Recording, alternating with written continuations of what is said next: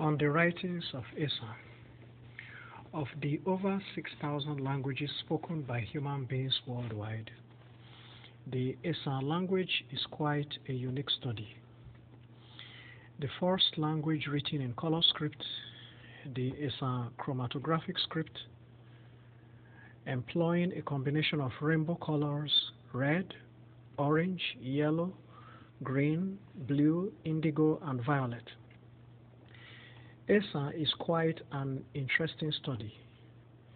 The Esan alphabet or set of letters consists of 21 symbols in fixed order used for writing Esan language, usually called the RAE.